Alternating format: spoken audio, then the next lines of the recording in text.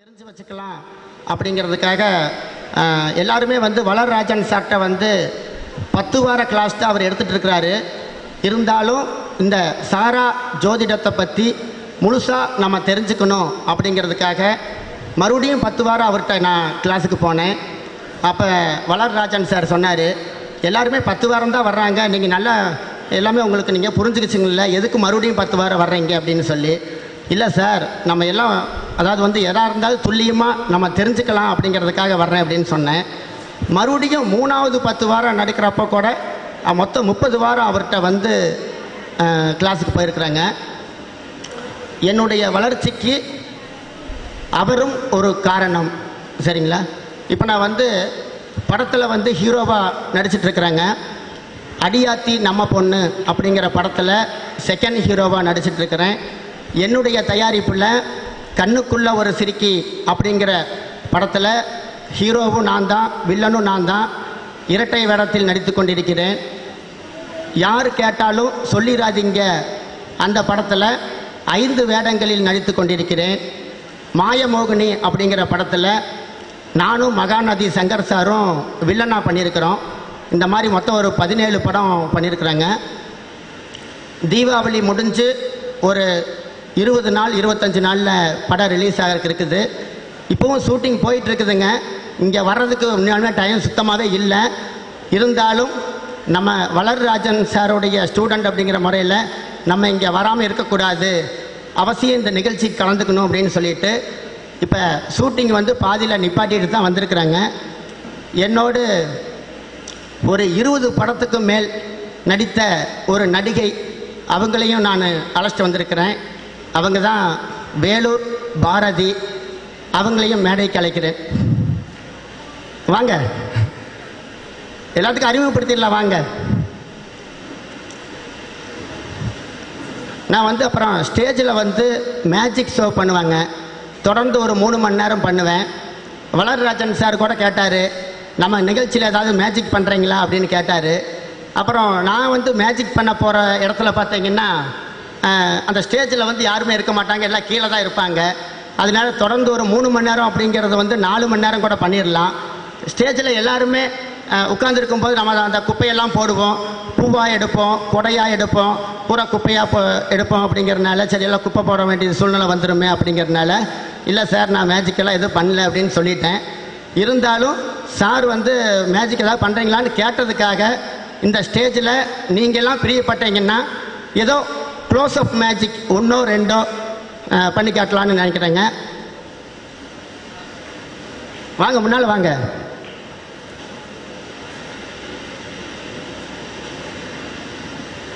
இன்னொரு வணக்கத்தை போட்டீங்கன்னா சரி அங்கே நின்று ஒரு வணக்கத்தை போடுங்க. அங்கே நில்லுங்க அப்பதான் தெரியும். அங்கே நில்லுங்க. சரி. இவங்க பேர் பாரதிங்க. கிட்டத்தட்ட இருபத்தஞ்சு படத்துக்கு பக்கத்தில் பண்ணியிருக்கிறாங்க.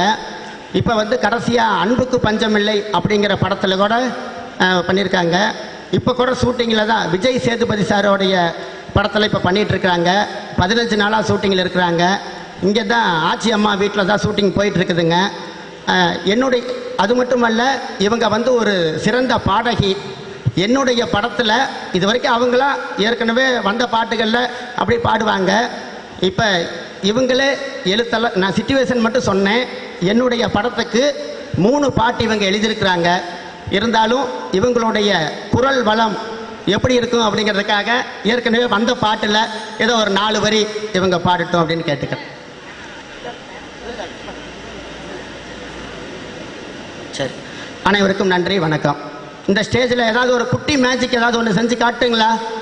நம்ம வளர்ராஜன் சார் சொன்னாருன்னா நான். அதாவது மேஜிக் அப்படின்னா எல்லாரும் என்ன நினச்சிக்கிறாங்க அப்படின்னா அவங்கவங்க பொருள் கொண்டு வருவாங்க. அவங்க பொருளில் மட்டும்தான் அந்த மேஜிக் பண்ண முடியும் அப்படிங்கிற மாதிரி நினச்சிக்கிறாங்க.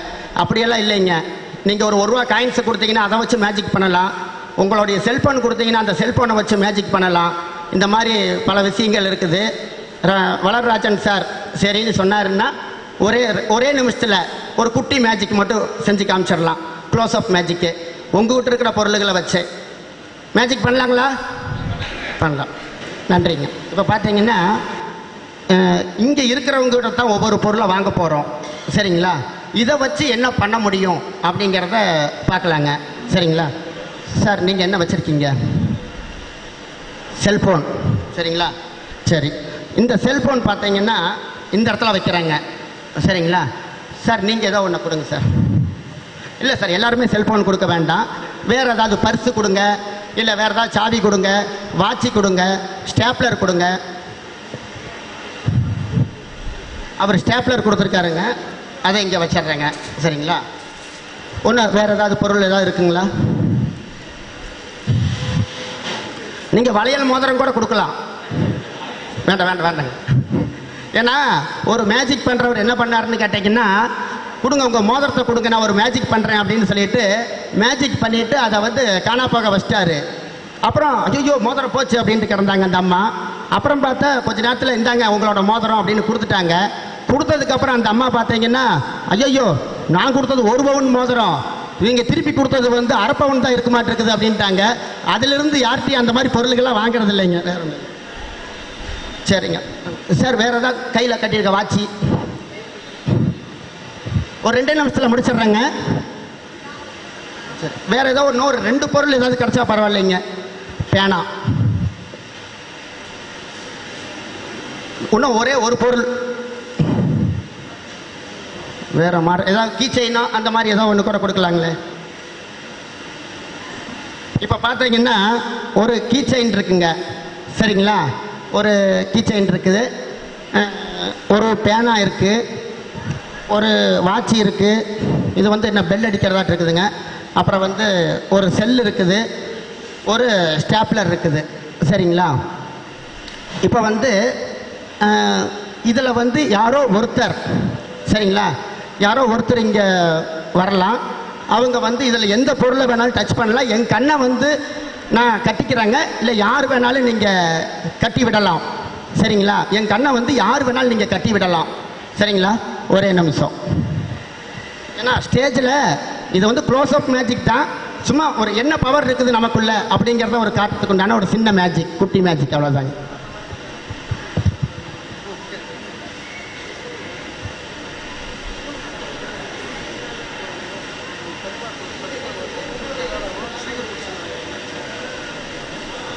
இந்த சாப்பாடு பரிமாறத்துக்கு ஒரு அஞ்சு பேர் வந்தால் நல்லாயிருக்கும் சார். கொஞ்சம் நிறைய பேர் வெயிட்டிங்கில் உட்காந்துருக்காங்க சாப்பாடு பரிமாறத்துக்கு வாலண்டியர்ஸ் யாராவது ஒரு அஞ்சு பேர் வந்தீங்கன்னா வசதியாக இருக்கும். கொஞ்சம் சீக்கிரம் முடிஞ்சிடும் ஒரு ஒருத்தருக்கு ஒருத்தர் ஒரு உதவி தான் முடிஞ்சவங்க வாங்க. ஒரு நாலஞ்சு பேர் வந்தால் சீக்கிரம் முடியும்.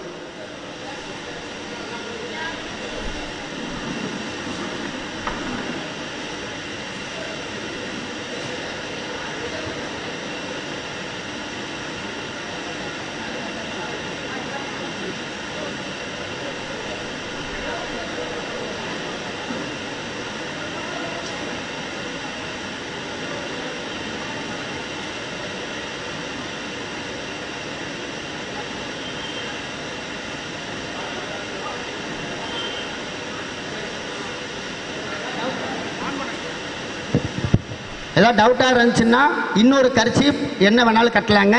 சரிங்களா? இப்போ அங்கே ஆறேழு பொருள் வச்சுருக்கோம். அஞ்சோ ஆறோ ஏழோ வச்சுருக்குறாங்க. ஏதோ ஒரு நபர் ஸ்டேஜ்லேருந்து வரலாம். இல்லை இங்கே மேலே உட்காந்துருக்கிறவங்களே வரலாம். இங்கே முன்னால் வந்து அந்த பொருளில் வந்து ஏதோ ஒரு பொருளை மட்டும் அவங்க டச் பண்ணலாம். சரிங்களா? டச் பண்ணலாம். எடுத்து பார்க்கலாம். அந்த எடுத்து பார்த்துட்டு எப்படி வேணாலும் அவங்க வைக்கலாம். இல்லை அதே மாதிரியே நான் எப்படி வச்சுருக்கிறேனோ அதே மாதிரி கூட அவங்க வைக்கலாம். சரிங்களா? இருந்தாலும் அந்த பொருள் எந்த பொருள் அப்படின்னு என்னால் கண்டுபிடிக்க முடியுமான்னு நான் ட்ரை பண்ணுறேங்க சரிங்களா? யார் வர்றீங்க? வந்துட்டீங்களா?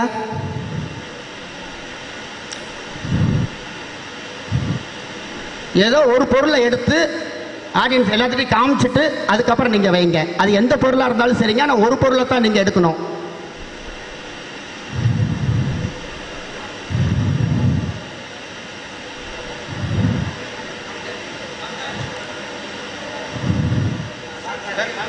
காமிச்சிட்டு வச்சாச்சுங்களா? சரிங்க. அதே மாதிரி வச்சிருங்க. வச்சதுக்கப்புறம் என்னுடைய கட்டை அவுத்து விட்டுடலாங்க.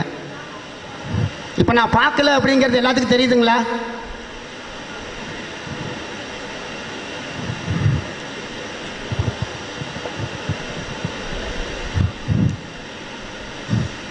ஒன்று ரெண்டு மூணு நாலு அஞ்சு. மொத்தம் ஆறு பொருள் இருக்குதுங்க. இந்த ஆறு பொருளில் ஒரு பொருள் யார் தொட்டதுங்க?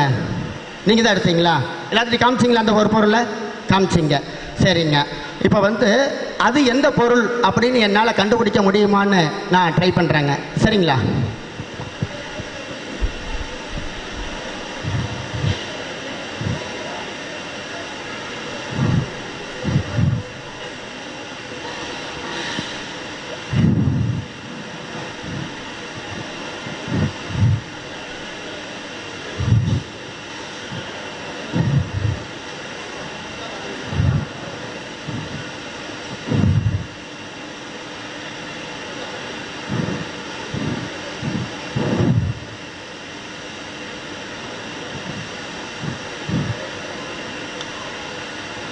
ஆமா இவங்க எடுத்தது இந்த பொருளாக தான் இருக்கணும் இதான் வேறங்களா? இதுதான் சரிங்களா? நான் வந்து ஜோதிடம் பார்க்கறது இல்லைன்னு சொன்னேன்.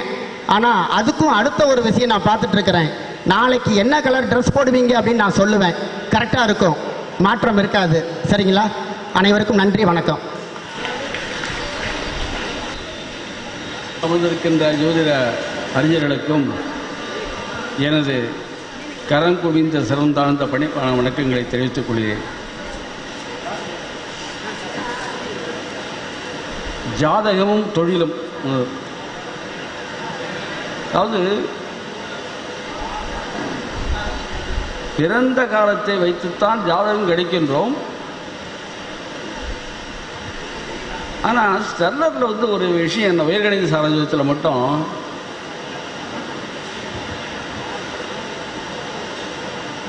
பிறந்தஜாதத்தை கணித்தாலும் குரு பாவத்தினுடைய ஆரம்ப முனையின் உபநட்சத்திரம் அதனுடைய சாராதிபதி அடுத்ததாக வருகின்ற உபநட்சத்திரம் அதனுடைய பாவத்தோடு தான் பாவத்தோட வைத்து நம்ம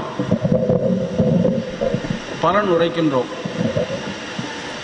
அதில் ஜாதகமும் தொழிலும் என்று தான் தலைப்பு. அந்த தலைப்பை பொறுத்தளவுக்கு தமிழில் ஒரு பழமொழி உண்டு. உத்தியோகம் புருஷ லட்சணம் என்று ஒரு பழமொழி. உத்தியோகம் பார்ப்பது தொழில் செய்வது அல்லது பணி செய்வது என்பது புருஷன் என்று சொல்லக்கூடிய ஆண்களுடைய லட்சணம். ஆனால் இன்று அந்த பழமொழி மாறி பெண்களும் பணியாற்றுகின்றார்கள். பல பிரச்சனைகளுக்கும் ஆளாகின்றார்கள். ஆனால் அன்று உத்தியோகம் புருஷ லட்சணம் என்று சொல்லுகின்ற காலத்தில் ஏற்பட்ட நிகழ்வுகள் விளைவுகள் எல்லாம் எந்த விதமான தவறான ஒரு செயல்களோ அல்லது தவறான காரியங்களோ நடக்காமல் இருந்தது. இன்றைய காலகட்டத்திலே பெண்களும் இணையாக பணி செய்கின்ற பொழுது பல பிரச்சனைகளை பல இன்னல்களை சமூக இழப்புகளை நாம் இழந்து கொண்டிருக்கிறோம் பார்த்து கொண்டிருக்கின்றோம். ஆனா இந்த தொழில் என்று சொல்லுகின்ற பத்தாம் பாவம் இருக்கல்லவா? அந்த பத்தாம் பாவம் அந்த பத்தாம் பாவத்தால் விளைகின்ற நன்மை பலன்கள் அப்படின்னு பார்த்தீங்கன்னா அந்த தொழில் செய்வதாலோ அல்லது உத்தியோகம் பண்ணுவதா உத்தியோகம் செய்வதாலோ ஒரு அந்தஸ்து கிடைக்கிறது. புகழ் கிடைக்கிறது. தொழிலே சிறப்பான பணியாற்றி அதிக உற்பத்தி செய்து தொழில் வல்லுநராக இருக்கின்ற பொழுது அந்த தொழிலாளர்கள் மத்தியிலும் தொழில் இயக்கங்களை நடத்தி கொண்டிருக்கின்ற தொழிற்சாலைகளை நடத்தி கொண்டிருக்கின்ற தொழில் அதிபர்கள் மத்தியிலும் அவர்களுக்கு ஒரு நல்ல மரியாதையும் புகழும் அந்தஸ்தும் கிடைக்கிறது. இப்படி இந்த தொழில் என்று சொல்லுகின்ற பொழுது இவைகளெல்லாம் ஒன்று சேர்ந்து வருகிறது. பத்தாம் பாவம் வலுவடைந்திருந்து ஒரு ஜாதகருக்கு ரெண்டாம் பாவம் பலமான வலு இல்லாமல் ஓரளவுக்குத்தான் பலம் பெற்றிருக்கிறது என்று வைத்துக் கொண்டால் என்ன நிகழும்? ரெண்டாம் பாவம் சரியாக வலுவிழந்து போச்சே அப்படின்னு சொல்லக்கூடாது. ஏன்னா பாரம்பரியத்தில் சொல்லுவது வேறு. ஆனால் உயர்கணித சாரத்தில் அப்படி சொல்ல முடியாது. ஏன்னா பத்தாம் பாவம் வலுவாக இருக்கும் பொழுது அவன் தொழிலே நல்ல உயர்வை பெருக முடிகிறது. ரெண்டாம் பாவம் குறைந்த வலு இழந்திருந்தாலும் அவன் அந்த தொழிலின் மூலமாக முறையாக பணம் ஈட்டக்கூடிய ஒரு நிலையை பெறுகின்றான். அதாவது அதாவது முறையாக உழைத்து சம்பாதிக்கின்ற பணம் என்பது நிலைத்து நிற்கும். இதுதான் உண்மை. பல பேரை பார்க்குறோம். யாரும் தப்பாக எடுத்துக்காதீங்க. ஜோதிடர்களை சொல்ல பொதுவாக வேற ஒரு தொழிலை சொல்லுவோம். அந்த தொழிலில் ஒரு ஃப்ராடு பண்ணுறான்னு சொன்னால் அந்த ஃப்ராடால் வருகின்ற விளைவு கடைசியில் மாட்டிக்கிறான். எந்த விதத்துலேயோ. இப்போ மல்லையா பாருங்க எவ்வளோ கடன் வாங்கி கடைசியில் கடைசியில் எங்கேயோ போய் மாட்டிக்கிட்டு இப்போ நான் இந்தியாவுக்கு வரேங்கிறார். இது என்ன காரணம் தொழிலில் பேர் எடுத்தார் கடைசியில் என்னாச்சு? ஃப்ராடில் மாட்டிக்கிட்டார். அதுபோல் பத்தாம் பாவம் வலுவிழந்திருந்து ஒரு ஜாதகருக்கு ரெண்டாம் பாவம் குறைந்த வலுவில் இருந்தாலும் கூட அவர் முறையாக பணம் சம்பாதிப்பார் பணத்தை நீடித்து வைத்திருப்பார். அடுத்ததாக பார்த்தீங்கன்னா சுய சம்பாத்தியம் தான் என்னைக்கும் நிலைச்சு நிற்கும். இந்த பத்தாம் பாவம் ரெண்டாம் பாவம் மட்டும் ஏன் சொல்றேன்னு சொன்ன காரணம் ரெண்டாம் பாவத்துக்கு பத்தாம் பாவம் ரெண்டாம் பாவம் தொடர்பு கொள்ளுகின்ற பொழுது ரெண்டாம் பாவத்துக்கு இது ஒன்பதாம் பாவம் வரும் பொழுது அந்த ஜா- தொ- தொழில் அதிபரை அவன் செய்கின்ற தொழிலை நேர்மையாக நாணயமாக உண்மையாக உழைக்கக்கூடிய ஒரு எண்ணத்தை உண்டாக்கி விடுகிறது அதனால் அவனுக்கு சேருகின்ற பணம் அவனுக்கு கிடைக்கின்ற அந்த அதிகமான லாபங்கள் முறையாக நீடித்து அவன் சேர்த்து வைக்க முடிகிறது. அதே போல் இந்த கேந்திரங்கள் திரிகோணங்கள் என்று சொல்லுகின்ற பொழுது ஒன்று ஐந்து ஒன்பது ஒன்று ஒன்று வலிமையுடையது. இயந்திரங்கள் இது திரிகோணத்தில். இயந்திரம் ஒன்று நாலு ஏழு பத்து என்று சொல்லுகின்ற பொழுது அதிலும் ஒன்றை விட நாலு நாலை விட ஏழு ஏழை விட பத்து என்று சொல்லுகின்ற நிலையில் ஒரு ஜாதகம் என்று சொன்னால் அந்த ஜாதகத்திலே பத்தாம் பாவம் சிகரம் என்று சொல்லக்கூடிய ஒரு தன்மை உடையது. அது பாரம்பரியமாகட்டும் அல்லது உயர்நிலை கணிதமாகட்டும் அல்லது கேபி ஜோதிடமாகட்டும் எந்த கணிதமாக இருந்தாலும் இந்த ஜோதிடத்தை பொறுத்தவரை எந்த முறையாக இருந்தாலும் பத்தாம் பாவம் ஒரு சிகரம் ஒரு மகுடம் ஒரு கிரீடம் என்று சொல்லக்கூடிய அமைப்பு பெற்றது பத்தாம் பாவம் மட்டும்தான். ஆனால் திரிகோணத்தில் ஒன்பதாம் பாவம் சிறப்புடையது அதிர்ஷ்ட பாவம். பத்தாம் பாவம் இயந்திரத்தில் சிறப்புடையது. இப்படி ரெண்டுமே அந்த ஒன்பது பத்து ரெண்டுமே அதனால தான் தர்ம கர்மாதி யோகம் என்று பாரம்பரியத்தை சொல்லி வச்சாங்க. வேற ஒன்றும் கிடையாது. இந்த ரகசியங்கள் எல்லாம் அது அப்படியே விட்டுட்டார். அதெல்லாம் சொல்லாமலே ஆனால் நூல்களில் கொடுக்கும்போது சில விஷயங்களில் சேர்க்குறாங்க. தேவராஜி அதெல்லாம் தப்பு இல்லை. இப்படி ஒன்றுக்கு ஒன்று ஒரு ஜாதகத்தில் பத்தாம் பாவம் ஒரு ஜாதகருக்கு வலுத்திருந்தால் அவன் என்றைக்குமே நீடித்த நிலைத்த தொழிலை செய்யக்கூடிய அமைப்பை பெறுவான். இப்போ ஒரு சில பாவ தொடர்புகளை மட்டும் கூறி முடிவு செய்கிறேன். நம்ம பத்தாம் பாவம் ரெண்டு எடுத்து கொள்ளும் பொழுது பத்தாம் பாவம் ஆரம்ப முனையின் உபநட்சத்திராதிபதி அதனுடைய கிரகாதிபதி அதனுடைய உபநட்சத்திரம் இந்த மூன்றுடைய பாவத்தொடர்புகளை விளைவைத்தான் பாவத்தொழில் கணக்கிடுறோம். முதலே சொன்னேன். அப்படி பார்க்கும் பொழுது முதல்ல ஒரு பாவத்தொழிலுக்கு ஒருத்தர் பேசும்போது ஒரு ஜோதிடர் அழகாக சொன்னார். ரெண்டாம் பாவம் ரெண்டு ஆறு பத்து இருந்தால் அவர் சிறப்பாக பெறுவார். ரைட்டு தான். மேன்மேனும் வளர்ச்சியும். ஆனால் தேவராஜா சொல்லும்போது பார்த்தீங்கன்னா வேடிக்கை. பத்தாம் பாவம் ரெண்டு நாள் ஆறு பத்து என்று தொடர்பு வந்தால் அவன் கொஞ்சம் கொஞ்சமாக வளர்ச்சி பெற்று சொத்து சேர்ப்பான். முறையாக சேர்ப்பான். ஏன்னா ரெண்டு மூன்றாம் ரெண்டுக்கு மூன்றாம் பாவம் நாலாம் பாவம் நாலுக்கு மூன்றாம் பாவம் ஆறு அப்படி போகும் பொழுது அங்கே எட்டு மட்டும் வரலன்னு சொன்னால் அது சிறப்புடையது. ரெண்டு நாலு ஆறு பத்து. அவனுக்கு தொழில் சிறப்பாக இருக்கும் சொத்து சேரும் எல்லாம் சேரும்னு சொல்லி எழுதியிருக்கார். அதுபோல் இந்த மூன்று தொடர்புகளை வைத்து தான் நம்ம பார்க்குறோம். அதில் ஒரு ரெண்டு மூணு தொடர்பு மட்டும் சொல்லி முடியுதேன் பத்தாம் பாவம் ரெண்டாம் பாவத்தை தொடர்பு கொள்ளுது. வேற உண்மையே தொடர்பு இல்லை.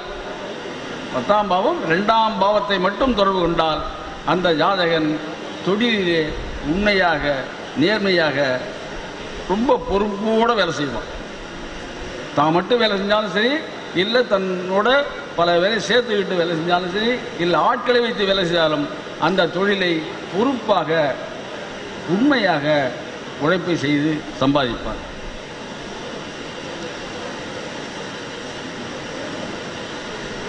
அதே போல பத்தாம் பாவம். ஐந்தாம் பாவம் தொடர்பு கொள்ளுது. அதாவது நம்ம பத்து ரெண்டுன்னும் பொழுது ரெண்டுமே ரெட்டைப்படை பாவமாக போயிடுது. ஆனால் இப்போ ஒரு ஒற்றை ரெட்டை என்று சொல்கின்றது பத்தாம் பாவம் ஐந்தாம் பாவத்தை தொடர்பு கொள்ளும் பொழுது என்ன முதலில் சொன்னார்? இரட்டைப்படை பாவங்களை ஒற்றைப்படை பாவம் தடுக்கும். அதே போல இந்த பத்தாம் பாவம் ஐந்தாம் பாவத்தை தொடர்பு கொள்ளும் பொழுது ஐந்தாம் பாவம் என்பது ஐந்துக்கு எத்தனை பாவம்? பத்தாம் பாவத்துக்கு எட்டாம் பாவமாக வருகிறது.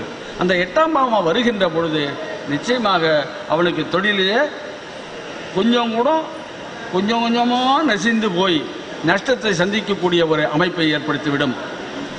அடுத்ததாக பத்தாம் பாவம் ஏழாம் பாவத்தை தொடர்பு கொள்ளும் பொழுது ரொம்ப விசித்திரமாக இருக்கும். ஏன்? ஏழாம் பாவம் இது பாருங்க பத்தாம் பாவம் ஐந்தாம் பாவம் என்று சொல்வது ஒரு இரட்டைப்படை பாவம். ஒற்றைப்படை பாவத்தை தொடர்பு கொள்ளும் பொழுது தடுக்கும் என்று சொன்னோம். ஆனால் அதே இடத்து சமயத்தில் பத்தாம் பாவம் என்ற இரட்டைப்படை பாவம் ஏழாம் பாவம் ஒற்றைப்படை பாவத்தை தொடர்பு கொண்டால் என்ன நிகழும்? ஏழாம் பாவம் என்னென்ன சொல்லுது? பொதுவாகவே மக்கள் தொடர்பு பொதுஜன தொடர்பு சந்திக்கும் நபர்கள் வாடிக்கையாளர்கள் கூட்டாளிகள் இப்படியெல்லாம் சொல்லப்படுகிறது. அப்போ இந்த ஏழாம் பாவம் அவனுக்கு ஏதாவது நஷ்டத்தை கொடுக்குமா? இல்லை. ஏன்னா பத்தாம் பாவத்துக்கு அது பத்தாம் பாவமாக போயிடுது. லக்னத்துக்கு ஏழாம் பாவம் ஆனால் பத்தாம் பாவத்துக்கு அது பத்தாம் பாவமாக போயிடுது. அந்த பத்தாம் போகிற என்ற போகின்ற காரணத்தினால் அவன் தொழிலிலே நல்ல ஒரு அருமையான வாடிக்கையாளர்களை பெற்று அதிகமான தொழிலில் அதிகமான நபர்களை சந்திக்கக்கூடிய வாய்ப்பும் தொழில் வளர்ச்சியும் பெறுவான். அது என்ன? தொழிலில் அதிகமான வாடிக்கையாளர் சந்தித்தா மட்டும் போகாது அவனுக்கு தொழிலும் சிறப்பாக நடக்கணும். ஏன்னா வெளியில் போகும்போது நண்பர்கள் மூலமாக நான் தொழில் செய்கிறையா எனக்கு எதாவது ஹெல்ப் பண்ணு. அப்படியா? சரிங்க உங்கள்கிட்ட கொண்டு வந்து ஆர்டர் தரேன். அப்படிம்பாங்க. அதுபோல் நிறைய நண்பர்கள் வாடிக்கையாளர்களை சேர்க்கக்கூடிய ஒரு தன்மையை பெறுகின்ற அமைப்பு பத்தாம் பாவம் ஏழாம் பாவம் தொடர்பு என்பதுதான் சொல்லி அனைவருக்கும் நன்றி கூறி விடைபெறுகிறேன். மதிய உணவு இடைவேளை. மதிய உணவு இடைவேளைக்கு பிறகு மிக முக்கியமான கருத்துக்களிலே பல ஜோதிட ஆய்வாளர்கள் உரை நிகழ்த்த இருக்கிறார்கள். அதனால யாரும் மிஸ் பண்ணிடாதீங்க. எங்கேயும் வெளியில் போயிடாதீங்க. கரெக்டாக ரெண்டு மணிக்கு திருப்பி ஆரம்பிச்சிருவோம். ரெண்டு மணிக்கு எல்லாரும் இங்கே வந்து அசம்பிள் ஆகிற மாதிரி பார்த்துக்கோங்க. சிறப்புரை நிகழ்த்துவார். நிறைவாக திரு ஜோதிட நல்லாசிரியர் அவர்கள் சிறப்புரை நிகழ்த்துவார்கள். எனவே அனைவரும் மதியம் இரண்டு மணிக்கு அமருமாறு வந்து கேட்டுக்கொள்கிறோம். தற்பொழுது மதிய உணவு இடைவேளை.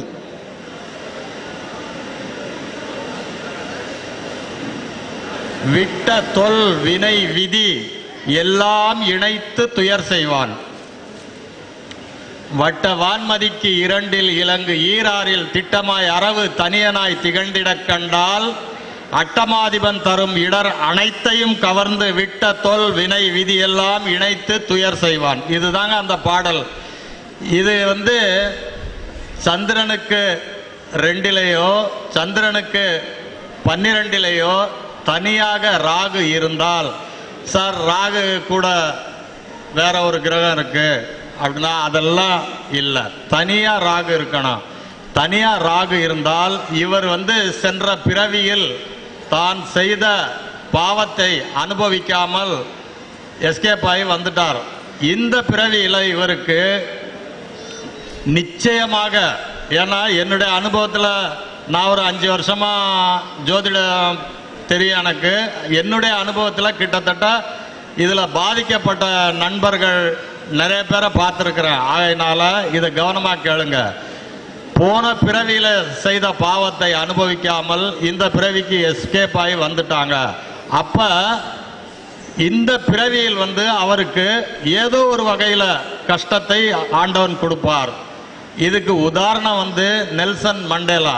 நெல்சன் மண்டேலாவை பற்றி எல்லாருக்குமே தெரியும். கிட்டத்தட்ட இருபத்தி இரண்டு ஆண்டுகளுக்கு மேலே சிறைவாசம் அனுபவித்தவர் அவருக்கு இது மாதிரி இருக்குது ஆகையினால் இந்த மாதிரி இருக்கிற அதாவது திருமண பொருத்தம் பார்த்து நீங்கள் இணை சேர்க்கும் பொழுது இந்த மாதிரி ஒரு ஜாதகருக்கோ ஜாதகிக்கோ இருந்தால் நீங்கள் பொருத்தம் சே பார்த்து என்னப்பா பத்து பத்துக்கு பத்து பொருத்தம் இருந்தாலும் இப்படிப்பட்ட ஜாதகத்தை இணைக்கவே கூடாது. அப்படி இணைத்தீர்களானால் நிச்சயமாக உங்களுடைய பெயர் கெட்டுவிடும்.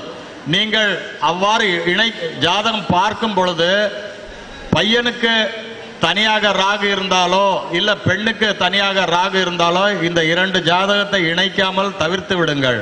இல்லை என்றால் உங்கள் பெயர் ரிப்பேர் ஆகிவிடும்.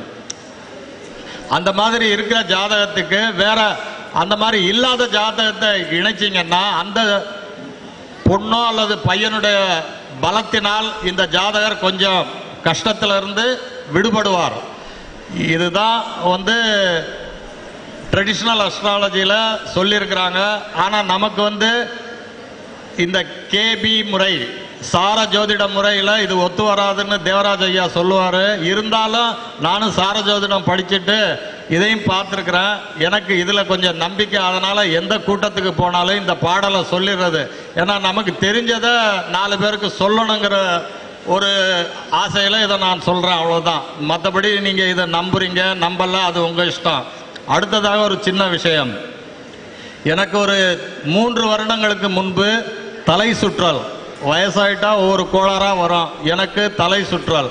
தலை சுற்றலுக்கு நான் நிறைய ட்ரீட்மெண்ட்டு பார்த்துட்டேன். கிட்டத்தட்ட மூணு மாதம் கஷ்டப்பட்டேன். அப்புறம் ஒரு நண்பர் சொன்னார் தலை சுற்றலுக்கு வெர்டிகோ வெர்டிகோவுக்கு அலோபதியில் கொடுக்குற மாத்திரை வந்து வெர்டின் வெர்டின் மாத்திரை காலையில் ஒன்று ஈவினிங் ஒன்று சாப்பிடுங்க பெட் ரெஸ்ட்டில் இருங்க எங்கேயும் சுத்தாதீங்க வெளியே போகிறத குறைச்சிக்கிங்க. இதுதான் டாக்டர் அட்வைஸு என்னால் அப்படி இருக்க முடியாது. அப்புறம் யோசிச்சுக்கிட்டு இருந்தால் ஒரு நண்பர் சொன்னார் அக்குப்பஞ்சரில் இதுக்கு நல்ல வைத்தியம் இருக்குது நீங்கள் அதில் ட்ரை பண்ணுங்க அப்படின்னாரு. சரின்னு ஒரு நண்பர்கிட்ட போனேன். அவர் வந்து படுக்க போட்டு ஊசி ஒரு ஏழு ஊசி உடம்புல அங்கங்கே குத்துனாரு. நல்லா தூங்கிட்டேன். இருபது நிமிஷம் தூங்கிட்டேன். எனக்கு வந்து ஒரு ஆயிரத்தி தொள்ளாயிரத்தி எண்பதுலேருந்து ஹோமியோபதி எனக்கு தெரியும். ஹோமியோபதி மூணு வருஷம் படித்து நானும் தெரிஞ்சவங்க சொந்தக்காரங்க எல்லாருக்கும் ஹோமியோபதியில் மருந்து கொடுப்பேன். அப்போ எனக்கு அக்குப்பஞ்சர் வைத்தியம் வந்து ஒரு சிறந்த வைத்திய முறை அப்படிங்கிறது எனக்கு தெரியாது. எனக்கு அதாவது ஒரு பழமொழி சொல்லுவான் தனக்கு வந்தால் தான் அந்த கஷ்டம் நமக்கு தெரியும்னு. அடுத்தவனுக்கு வகுத்து வலின்னா நமக்கு தெரியாது. நமக்கு வகுத்த வழி ஐயோ வகுத்த வலி வருதே அப்படின்னு துடிப்போம். அந்த மாதிரி எனக்கு தலை சுத்தல் வரவும் அதை நான் பெருசாக எடுத்துக்கிட்டேன். ஏன்னா வெளியே போக முடியாது உட்கார முடியாது போ நடக்க முடியாது படுத்தே இருக்கணும். அந்த ஒரு சூழ்நிலையில் அக்குபஞ்சர் வைத்தியம் பண்ணேன் கரெக்டாக ஏழு நீடில் இருபது நிமிஷம் நல்லா தூங்கிட்டேன். அடுத்து இன்னைக்கு வரைக்கும் கிட்டத்தட்ட மூன்று ஆண்டுகள் ஆகுது தலை இன்னும் சுத்தலை. நான் சுத்தினா தான் தலை சுத்துது. அந்த அளவு ஹண்ட்ரட் பர்சன்ட் ரிலீஃப் எனக்கு. அதுக்கப்புறம் எனக்கு ஒரு ஆசை. இவ்வளவு சூப்பரான சமாச்சாரமாக இருக்க இந்த அக்குப்பஞ்சரை நம்ம தெரிஞ்சுக்கணும் அப்படின்ட்டு ஒவ்வொரு இடமா போய் கேட்கும்போது இன்ஸ்டியூட் நிறைய இருக்குது அவங்க சொன்னாங்க பேசிக் அக்குபஞ்சர் படிக்கணும்னா ஏழாயிரம். அடுத்து டிப்ளமா படிக்கணும்னா பதினஞ்சாயிரம். ஆக இருபத்தி ரெண்டாயிரத்துக்கு குறைச்சி அக்குப்பஞ்சர் கற்றுக்க முடியாதுங்கிற ஒரு முடிவுக்கு வந்தேன் அப்போ இதே தேவ தேவராஜ் ஐயா வகுப்பில் வந்து டாக்டர் பழனிங்கிறவர் அவரும் ஜோதிடம் படிக்கிறாரு. அவரும் வந்திருந்தாரு இங்கே பேசின மாதிரி. அதாவது எங்கே போனாலும் நான் பட்ட கஷ்டம் நான் பட்ட ரிலீஃப் ரெண்டையும் சொல்லிடுவேன். அந்த மீட்டிங்கில் நான் சொன்னேன் இது மாதிரி அக்குப்பஞ்சரில் எனக்கு சரியாயிடுச்சு எனக்கு அக்குப்பஞ்சர் கற்றுக்கணும்னு ஒரு ஆசை.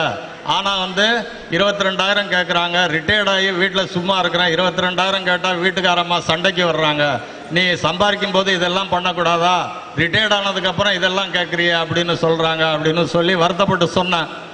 அப்போ அந்த நண்பர் எந்திரிச்சு சொன்னார் நீங்கள் கவலைப்படாதீங்க. உங்களுக்கு நான் இலவசமாக அக்குப்பஞ்சர் கத்து தர்றேன் அப்படின்னு சொன்னார்.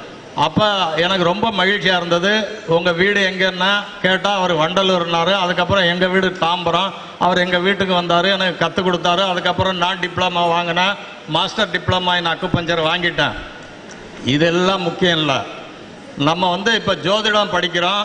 ஜோதிடம் இதை ப்ராக்டிஸ் பண்ணுறோம் நம்ம கற்றுக்கிட்ட கலையை இப்போ நிறைய பேர் வந்து அவங்கவுங்க ஊரில் ஜோதிட ஆச்சாரியா பட்டம் வாங்கிட்டு ஸ்கூல் நடத்துகிறாங்க அது மாதிரி இங்கே வந்திருக்கிற ஜோதிடர்கள் தாங்கள் கற்றுக்கிட்டதை மற்றவர்களுக்கு சொல்லி கொடுத்து ஜோதிட ஆச்சாரியாவை ஆகணும். இதே இதில் தான் வந்து என்னுடைய நண்பர் எனக்கு அக்குப்பஞ்சர் கற்றுக் கொடுத்தாரு. நான் சொன்னேன் அவர்கிட்ட நம்ம இவ்வளவு சிரமப்பட்டு அக்குப்பஞ்சர் ஒவ்வொருத்தரும் கற்றுக்கிறதுக்கு